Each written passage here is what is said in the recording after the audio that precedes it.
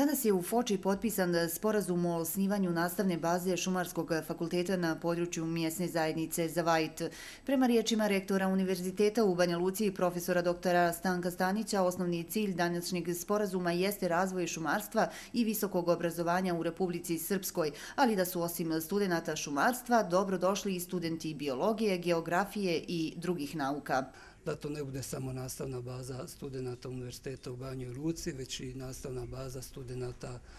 Univerziteta u Istočnom Sarajevu, odnosno da i tim aktom, odnosno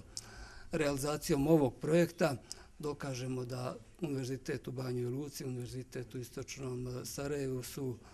ono što treba da bude jedna snažna nastavna istraživačka baza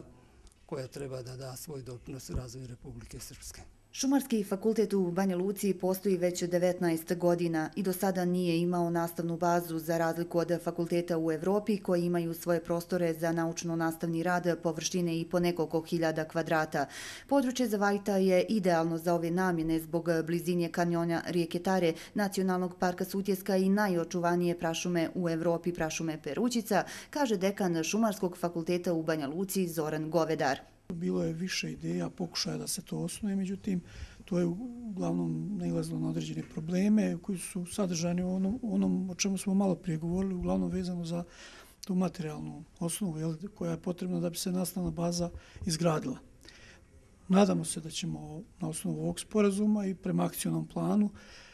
uspjeti da ove godine počnemo radove na ovoj nastavnoj bazi, a da u nek, možda naredne godine da to bude u fazi